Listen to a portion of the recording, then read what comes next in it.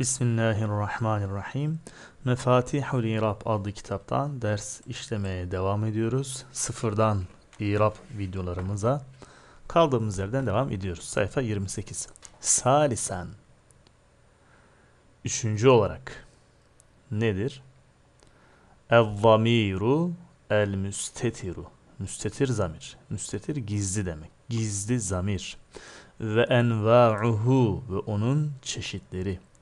Hu yani müstetir zamir. Onun çeşitleri, türleri. Hi onlar nelerdir? Gizli zamirlerin kısımları nelerdir? El-zamiru el-müstetiru müstetir zamir. Müstetir ne demekti? Gizli. Yani görülmeyen. İstetara, yestetiru, istitarun, müstetirun, müsteterun. İsmi fail, isim nüfü. İsim fail olarak kullanıyoruz. Bu gizli zamirin gizli olmasının hükmü ne? Niye gizleniyor? Yani Allah'ın emri mi bu? Ayet mi var derler ya. Bir, cevazen olabilir. Yani gizli olabilir de olmayabilir de. İki, vücuben olur. Yani gizliliği vaciptir. Yani zorunludur. Gizli olması zorunlu olan, gizli olması caiz olan. Caiz derken gizli olabilir, olmayabilir. Yani şu demek, o kalıpta o zamir gizlenmiş olabilir veya orada gizli bir zamir yok, fail açıkça yazılıdır. İki şık, ihtimalli demek caiz. Vücubene geldiğinde ise orada zamir kesinlikle gizli olarak mevcuttur. Fail yazıda net bir şekilde başlı başına bir kelime olarak görünmez. Cevazende neymiş? Cevazen denen yerde gizli bir zamir fail olarak bulunabilir veya fail gizli bir zamir değildir. Açıkça faili görürsün. İhtimal, olabilirlik, olasılık var. İki durumda caizdir. Oysa vücuben dediğimiz yerde kesinlikle gizli bir zamir var. Açıkça zamiri göremezsin. Gizli zaten görünmez.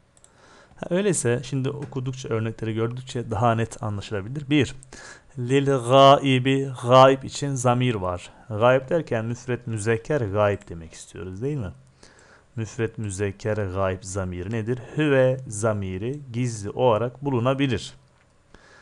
Veya gizli değildir. Zamir hiç yok. Peşine bir isim gelebilir. Lil gaibeti gaibe için hiye zamiri gizli olarak olabilir. Vücuben dediğimiz yerde mütekellim için ene zamiri var. Ene. Muzari'den bahsediyoruz. Peki lil mütekellimeyni lil mütekellimine mütekellim için yani konuşan kişi için nahnu zamiri var. Lil muhatabi müfret müzekker muhatap için ne var? Ente. Ente zamiri vardır. Bunlar nedir? Demek ki gizli zamirlermiş. Peki mahallu zamir el müstetir. Mahallu zamiri el müstetiri gizli zamirin mahalli konumu itibari olarak. Yani gizli bir zamir varmış. E olsun. Burada gizli bir zamir ve zamir var diyerek susmayacaksın. O gizli zamir fail mi, meful mü, müpteda mı, temiz mi nedir yani? Öge olarak nedir? El-zamiru, el-müstetiru, gizli zamir la yekunu olamaz. Kendisi için söz konusu değildir. İlla ancak olur. Fi mahalli raf'in ancak mahallen raf konumunda olur. Mahallen merfudur, mahallen raftır. O gizli zamir yani. İrabı nedir? Mahallen merfudur. O gizli zamirin irabı bu.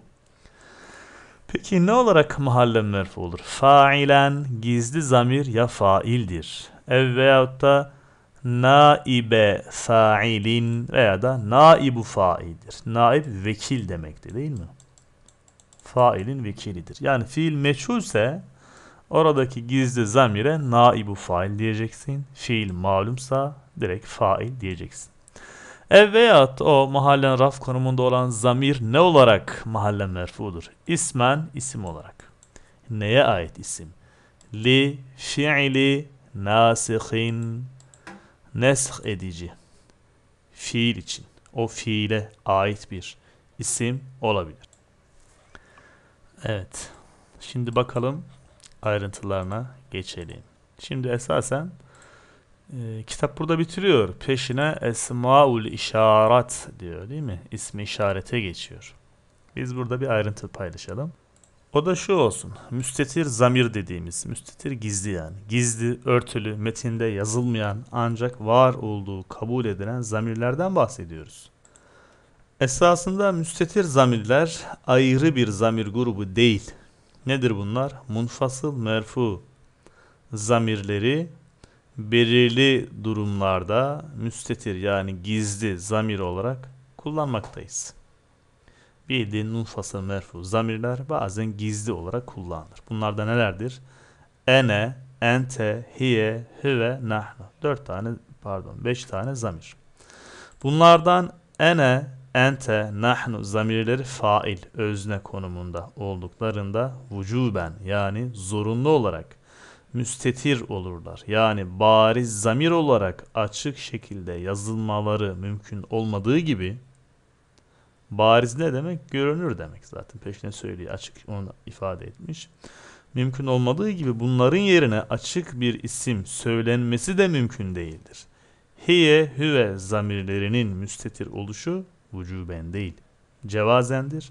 Yani bunların müstetir zamir olarak kullanılmaları zorunlu olmayıp bu zamirlerin yerine istenildiği takdirde açık bir isim getirmek mümkündür. Örnek bakalım. İkra kitabek. Kefa bi nefsikel yevme aleyke hasiba. İkra oku. Kim okusun? Sen oku. Sen nereden çıktı? İkra emri hazır, müfret, müzekker, muhatap değil mi? Kara, e, yakra'u kökünden. Ente faildir. E göremiyorum ikra kitabek. İkra bismi rabbikellezi halak. Oraya da örnek verebilirsin.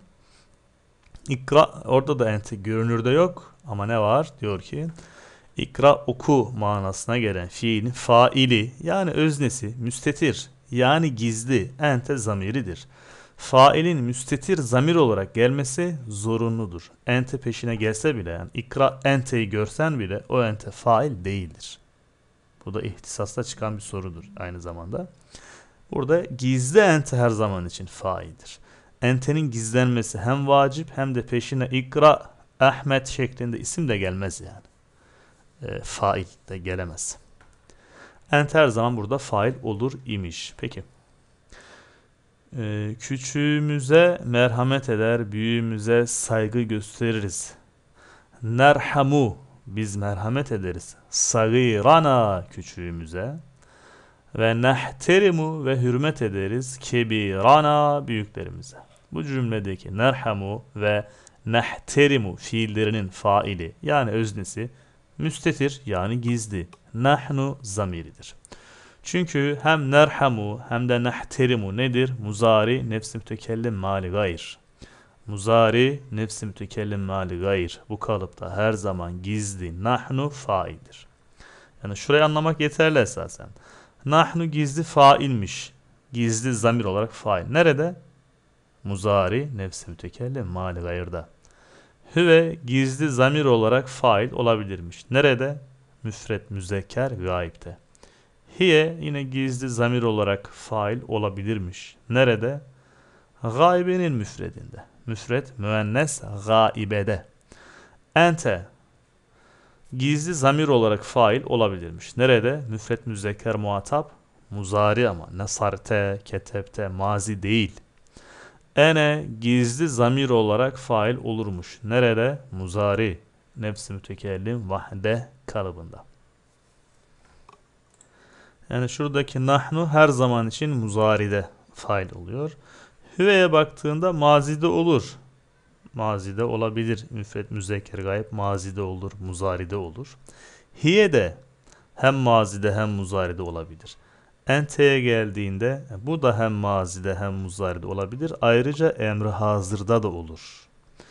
Ene kalıbı sadece muzaride olur. Bak hangisi hangi fiilde oluyor. Bu önemli. Peki şimdi dedi ki nahnu faildir. Evet. Nahterimu da gizli zamir nahnu fail. Çünkü nahterimu muzari nefsi mütekellim mali gayrdır ve yüzde yüz şaşmaz. Her zaman için nahnu fail olur. O zaman nensuru, nektubu. Evet buralarda nahnu faildir. Nahterimu yine muzari nefsi mütekellim mali gayr. O zaman yine nahnu faildir. Seni yaz tatilinde ziyaret edeceğim. Seezuru yakında ziyaret edeceğim ke seni fil uddeti tatilde öyle tatil ki es sayfiyeti yaz tatilinde. Se ezuru ezuru nezuru zara yezuru. Ezuru nedir? Muzari nefsi mütekellim vahdehtir. Ha, o zaman ene fail olur. Evet yüzde yüz şaşmaz. Hatice İstanbul'a gitti. Hadicetu Hatice vehebet gitti. Vehebet bir fiil. Faili nerede? Hatice. Fail o değil. Fail fiilin sağında olamaz yani. E, faili ila. İla'dan fail olmaz. İstanbul'dan olmaz. Çünkü giden kişi yani. Giden bir şahıs.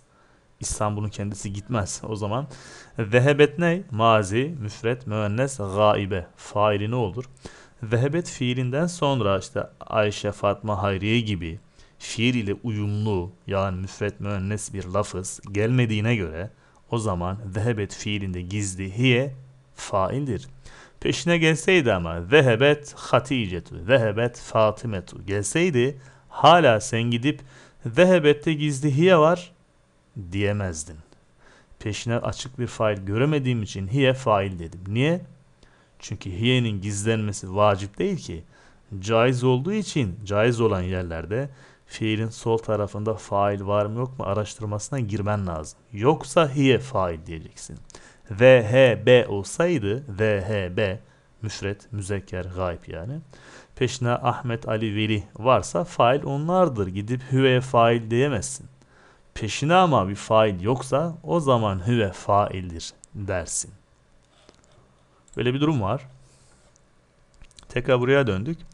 İsmi işaret başlıyor ama ben hemen ismi işarete başlamak istemiyorum. Burayı biraz daha pekiştirmek istiyorum. Bu bağlamda Kur'an-ı Kerim'i açtık. Şöyle bir bakalım nerede ne var. Mesela konu demek ki zamir zamirin fail oluşu. Bu da fiille alakalıdır. Gidip isimlere bakmazsın yani. Elhamdü isimdir. Bunda gizli bir zamir var mı diye düşünme. Elhamdü isimdir. Başına eliflam almış. Elhamd kelimesinin is eliflam alması isim olduğuna delalet eder. Hamide, yahmedu, hamdun e, mastardır. Mastarda gizli zamir var diye düşünmezsin. Fiil arıyorsun. Şöyle bir dolaştığımızda ilk fiil olarak en'amte'yi görüyorsun. Gizli ente fail mi? Yok. Burada te fail. Niye? En'amte bir kere mazidir ve müfret müzekker muhataptır. Mazide sadece hüve ve hiye kalıplarında yani gayb ve gaybenin müfretlerinde zamir gizlenebilirdi, caizdi. Burada ise T açıkça faildir. Burası konumuzun dışı yani. Peki Bakara suresine başladık. Şöyle bir hızlıca bakmaya çalışıyorum. Konuyla ilişkili örnek görebiliyor muyum? Bu bağlamda şunu söyleyebiliriz. Ünzile, nezele, enzele ifal babına aktarılmış mazi, müfret müzekker gayb meçhuldür. Enzele, ünzile, ekrame, ukrime gibi. Gizli zamir hüve kendisinde fail. Nasıl fail? Naibu fail. Niye? İlgili fiil meçhul çünkü ondan dolayı gizli zamir hüve faildir. Peşine bir ünzile daha gelmiş. Yine gizli zamir hüve burada naibu fail olur. Her ikisinde de naibu fail olarak hüve var. Hüvenin gizliliği cevazendir. Vücuben değil. Keferu sevan aleyhim. E enzerte mazi müfet müzekker muhatap. Burada zamirin gizlenmesi söz konusu değil. Ama lem tunzir. Lem tunzir'de bir durum var. O da nedir? E, lemden sonra fiil gelmiş. Yani lem muzarın başına gelir. Tunzir, enzera, yunziru, tunziru. Enzera, ekrame gibi. Yukrimu, yunziru, tunziru. İfal. Müfret müzekker muhatap. Gizli zamir ente var. Entenin gizliliği vücuben. Zorunlu yani değil mi? Ente bak burada geçmişti. Lil muhadabi ente vücubendir. Vücuben olanlar ene nahnu ente. Cevazden olan hüve hiye. Bunu ezbere bileceğiz. Buna göre burada gizli ente vardır, faildir. Hateme Allah. Peki hateme ne? Müfet müzekker gayb. Burada hüve zamirin gizli zamir olarak yani hüvenin fail olarak bulunması caizdir. Peki gizli hüve faildir der misin? Diyemezsin. Niye? Hatemeden sonra Allahu Celle Celaluhu. Lafzatullah gelmiş. Açıkça bir isimdir, faildir. böyle açık bir isim peşine gelmeseydi fail diyebileceğimiz o zaman gizli zamir hüve fail diyecektik. Ama gelmiş hala hüveye faildir diyemeyiz. Peşine bir tane daha söyleyelim. O da nerede geliyor? Minen nas insanlardan bir kısmı men o kimse ki yegulu söylüyor diyor. Kim söylüyor? Amenna biz iman ettik. Bu söyleyebilir mi? O nasıl söylesin? Söylenen şey o. Peki kim o cümleyi kim kuruyor? Yegulu hüve. Gizli zamir hüve faildir. Demek ki burada da hüve zamiri gizli olarak mevcuttur. Böyle devam ediyor. Peki bu zamirlerin fail olması, olmaması, gizli zamir, açık fa, açık bu konu Tuhfetü Seniye'de daha geniş olarak ele alınmıştır. Tuhfetü Seniye'yi de video olarak çektik, hazırladık. O da mevcut elimizde. Peki devam edelim biz. İsmi işarete geçelim. Madde 2. Esmaul işareti. İşaret isimleri. Türkçe'de var ya bu. İşte bu eczaneyi görüyor musun? Oradan sağa dön iki sokak ötede. Gibi işaret etmeye yarayan kelimeler. Ve ve o ismi işaret dediğimiz, işaret isimleri dediğim şey nedir? İsmun. Evvela isimdir. Fiil değil, harf değil. Nasıl isimdir? Ayyene yuayyinu. Tayin ediyor, belirtiyor. Belirten bir isimdir. Ne belirtiyor? Belirten şey ne?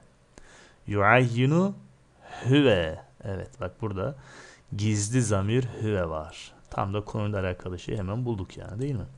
Yuayyinu muzari fiildir. Gizli zamir hüve burada faildir. Hüvenin gizliliği cevazendir.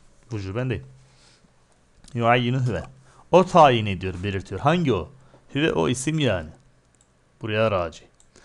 Peki neyi tayin ediyor, belirtiyor? Medlu lehu delalet ettiği şeyi belirtiyor, ifade ediyor. Nasıl peki belirtiyor? Tayinen bir tayin, bir belirtme, bir ifade ki mekrunen, mekrun bitişik demek veya yakın diyelim. Yakın bir tayin ile. Bir işaretin hissiyetin, hissi işaret ile yakın bir tayin ile ifade ediyor. Ve esmaül işareti hiye. İşaret isimleri hiye şunlardır. Nelerdir? İsmul işareti medluluhu su ve ruhu. İsmi işaretler aşağı doğru yani. Da, dihi, ti, da, ni, medluluhu. Bunlar neye delalet ediyor? Da, el müfredu, el müzekkeru. Müfred müzekkerdir da. Zi, e, zihi, ti bunlar el müfredu, el müennesu. Bunlar müfred müennestir. Zani, el müsenna, el müzekkeru. Tesniye müzekkerdir. Peki. Za aynı zamanda ne diyor? Bak suveruhu su, suratun müfret suver cemi mükesserdir. Suretleri, görünüşleri, şekilleri neler olabilir? Za olarak görebilirsin. Ha da olarak görebilirsin. Zake, zalike. Bu şekilde farklı farklı görebilirsin. Ama aslında za'dır ismi işaret. Ha da'daki ha değil yani. Zake'deki ke değil. Zalike'deki like dahil değil. Sadece da ismi işarettir. Zihi, zihi olarak veya hadihi olarak görebilirsin. Ti, ti, tike, tilke, ha, ti, ha, tike şeklinde görebilirsin. Zani, zani, hadani, hadanike şeklinde görebilirsin. Burada iki demiş. Da, ha, da, dake, zalike. Gidip ikiye bakalım ne var. Diyor ki burada görmüş olduğun ha yani e, şuradaki diyelim. Ha da var ya ha da'daki ha nedir? Tenbih içindir. Zalike Zalike'deki lam nedir? El bu'du bu'd içindir. Peki zalike diyorsun. Ke nedir? El hitabu. Hitap içindir o da. İsmi işarette bulunan kef hitap için, lam bu'd için, za ise ismi işaretin kendisidir. İsmul işareti medluluhu suveruhu. İsmi işareti olarak zani. Zani nedir? El müsenna, el müennesu. Tesniye müennestir. Tani sen tani olarak görürsün. Doğru. Aynı zamanda ha tani ve tanike olarak da görebilirsin. Ulaike humul mufrihun. Ulaike nedir? Cem'u zukuri. Cemi müzekkerdir. vel inasi ve cemi müennestir. Hem cemi müennes hem de cemi müzekker için ulaike kullanılır. Yani ortak vezindir.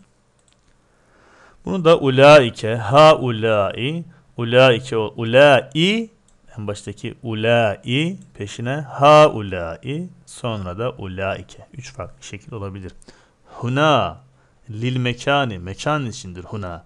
Ha huna, et takva, ha huna. Geçiyor değil mi hadiste? Takva nerededir? Ha huna, işte buradadır. Peygamberimiz işaret ediyor değil mi? Eliyle kalbini işaret ederek diyor. Et takva ha huna. Geçer yani orada. Mekan içindir, yer belirtir. Huna, ha huna, hunake, hunalike şeklinde farklı farklı görebilirsin. Ti, zihi, li gayril akili. Gayri akıl için kullanılır. Yani akılsız varlık için. Yani insan dışı için. Ti, ha, ti, tilke, zihi, hadihi olarak görmen mümkün.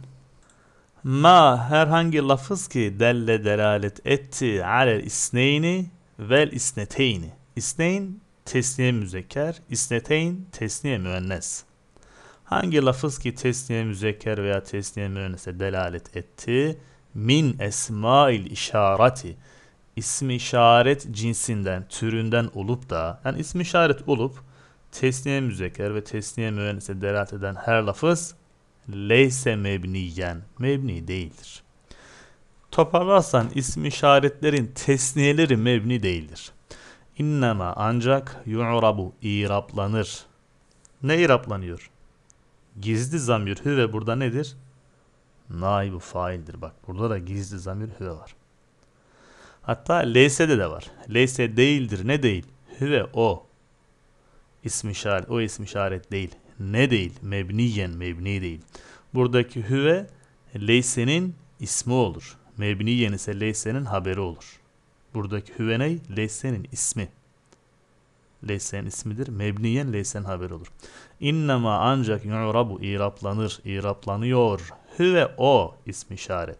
Hüve burada naibu fail. Nasıl iraplanırmış? İ'rabel müsenna. Tesni irabı ile iraplanmaktadır. Burada yakın için kullanılan isim işaretler görüyorsunuz. Müfret yukarıdan aşağı doğru, tesniye ortada, cimi ise en solda. Müzekker sağdan sola, müennes yine sağdan sola gidiyor. Anlamları bu, bu ikisi bunlar veya şu, şu ikisi şunlar diye de çevrilmektedir. Hada müfrettir ve müzekkerdir.